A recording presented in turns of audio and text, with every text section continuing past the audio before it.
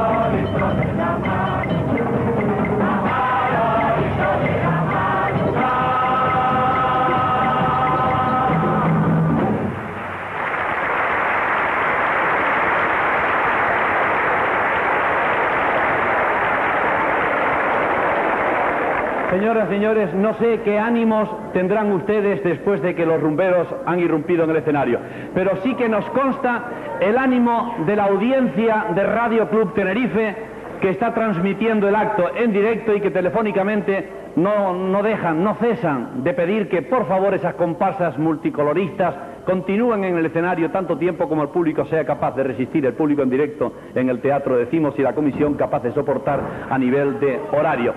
Los rumberos son toda una, tradición, más de 12 años entregados al mundo de la danza de forma impenitente, en la Plaza de Toros, en el Teatro Guimerá, y por supuesto que no podemos dejarlos marchar sin pedirles esa canción que normalmente en un teatro se pide con aplausos. Depende de ustedes. ¿Lo pedimos o no?